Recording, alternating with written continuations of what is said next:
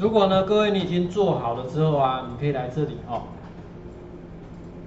来右上角这边九宫格按下去，就可以从这边按一下 STL。我们一般 3D 店主要都用 STL，所以你点到它之后按一下 download。各位，浪费你人生一分钟，开始倒数了，有没有？好了，这就会变 download 就下载，这样了解吗？好，那就看各位啦。